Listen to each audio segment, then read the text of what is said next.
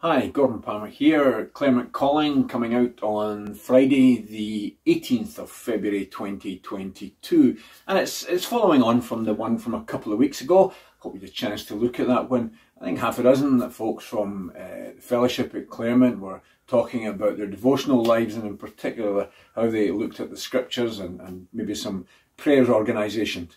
We're just going to quite quickly um, today run through some of the, the options and there'll be addresses and links um, on the on the screen as we as we go which I hope will be able to point you and, and, and where you might find some of the things that are really just so important. And it's, it is important. Jesus, after he was baptized by John the, John the Baptist and uh, had been that word from heaven, this is my son and I'm pleased, you think, well, he's ready to go straight into mission, straight into ministry. Where's the action? But in fact, what we're told is that he was led by the Holy Spirit into the wilderness there for 40 days. It, it, was a it was a retreat really. It was a, a devotional exercise, a, a big one for he had a big ministry in front of him. And we know that he spent time communing with God. And we, we also know that he was really um, dealing with the scriptures as well, because when at the end of that time Satan uh, tempted him with three specific temptations, each time Jesus responded with a verse from the Bible. Each time a, a verse from what we now have as the early chapters in Deuteronomy. It seems that's where Jesus had been focusing his reading, his or his thinking about, about Scripture. Jesus needed to pray. Jesus needed to know the scriptures and, and read the scriptures. Surely we don't think we could do better than him. So that's uh, why it's important, and we, as I say, mentioned, uh, some folks mentioned them options a couple of weeks ago.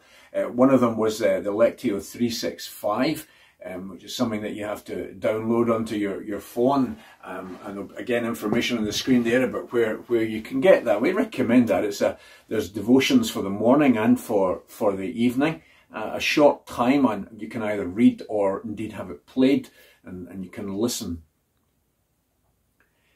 But um, as well as that, um, I think it was Martin mentioned some of the books that he used and the uh, New Testament series for everyone Matthew, Mark, Luke, John for everyone, right through to Revelation for everyone, and um, and the Old Testament books as, as well. They are much, I think, to be recommended, particularly I think the New Testament ones by by Tom Wright, um, and daily sections, daily readings. They there's a bit of the chapter and then maybe two or three pages on that reading before it goes on to the next one. They're not dated, so you can do them anytime. You, can start in December, you can start in May, you can start in February. Um, now, some for some folks, you might find these um, books a bit costly. So, if I was wanting to start and I wasn't sure how I was starting and not sure I can uh, lash out lots of money? Well, there's a number of Bible reading notes available. Our daily bread comes um, available free of charge. There's a link there. It can come in a booklet format like this. Or sometimes the booklet, if you want it, you can get it with a, with a larger print. Um, our daily bread also comes um, available by email or to your telephone. Then there's organisations who are doing a lot to promote Bible reading, to encourage the church in, in the Bible reading. One of these is the Bible Reading Fellowship, and they produce a, a, a, range of different options. And the best way to find out about these is to go to the website, and they've got the Bible Reading Notes at a Glance page where they'll tell you what the different readings are. And these also are available as apps and, and can be can be downloaded from them. And as well as the Bible Reading Fellowship, there's the Scottish Bible Society. They again produce material for small groups or for personal devotions, offering not only different parts of the Bible, but also different approaches. They have different styles of, of reading. Some's conversational, some more meditating on it. And again, really recommend you have a, have a look at the, via the link there and, and see what, what is available in these different styles. Scripture Union too will produce things like Daily Bread and Encounter with God and also have some readings specifically for, for different age groups. Again, worth finding out. You see, it's not all the one thing. It's not all the same to go about it. People are recognizing that there's different styles, different ways to read the scriptures. They're recognizing that different things are appropriate for, for different age groups as well. Another of the groups, and we've got some stuff here from them, or another of the publishing companies is the Good Book Company. They have a number of um, daily Bible readings uh, available again in different formats, books or apps, or they have notes. They also have a, a Facebook group where you can go on and share with others who are reading the, the notes at the same time. Got here a couple of the notes that they use for, for younger people. Their series is called Discover. And as well as the Bible reading notes for your daily devotions, they produce a number of uh, booklets, um, studies for individuals or groups. A couple of them here, and, and Old Testament books of Ezekiel and, and Zechariah. And then there's one on here by Tim Chester for the, the Apostles' Creed. Um, don't just have to repeat it on a Sunday. Find out a wee bit more about what's there and, and why it's there. And again, there's a, a website for details to where you can get material from the, the Good Book Company. I was speaking to Karen earlier on today, and, and she was um, recommending this book by Andy Flannagan. It's 120, where it says experiential devotionals. That is, what he's driving at is, is how do we actually get to grips with the scripture and let it really sink into our lives?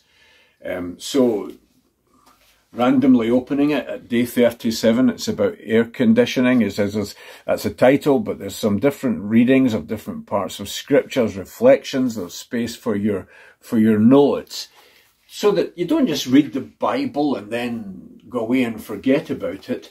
Um, there's a verse in the book of James about that, just saying, what's the point? what's the point? It's about trying to apply it. So uh, Andy Flannagan has, has done this, as I say, experiential de devotion, and, and, in similar um, vein, um, something I've used on and off for, for a time is the message done, Eugene Peterson's book, done in the, this format solo. And the solo is using a way of reading scripture uh, called Lectio Divina. And again, just opening it at a random page. Um, the sections are that we we read, think, pray, and live. We read the passage, we think about what it is, we, we pray over, and then there's some way that, that that's to affect the, the living that comes as a consequence of, of reading that. So that's another one that's, that's available and much to be recommended a number of years ago um, in Claremont, we used the Essential 100 book by Whitney Kuniholm. He came and spoke at one of our morning services as well. He sat down and worked out if I was to just say in 100 readings, what's the best way to get a, a picture of the whole of Scripture, what 100 passages would I choose? And he reflected it and it put them down together in this book of um, Essential 100, and it's become very popular um, the world over, just giving that overview of, of Scripture, um, just sort of doing again a daily section of something to read, something to reflect. And again, he talks about how we apply it to our lives and how we pray. Well, that's a run through just some of the things that, that are available. There's a whole wealth of material and indeed, it's one of the sadnesses for me, I think, in our time that we don't make much use sometimes of what we have. Lots of people have Bibles at home that are never open. That's sad. people in the persecuted uh, church elsewhere in the world just desperate sometimes to get a page of scripture or two pages of scripture. Um, a few hundred years ago, people were getting burned at the stake and burned alive just for trying to put the Bible into the, the ordinary language so that folks can have it. Folks working hard today, like uh, Martin Robb, um, who came from Claremont, working with uh, Wycliffe Bible translators in Hungary, just trying to get much needed and much loved scripture out to folks who are desperate for it. And we've got so much. Maybe we could do a bit more with what we have and what we've not been using. I'm going to try and see if we can get a number of these things um, available in the coming weeks on the church bookstall um, as well. And so keep an eye out for that. And finally, one other book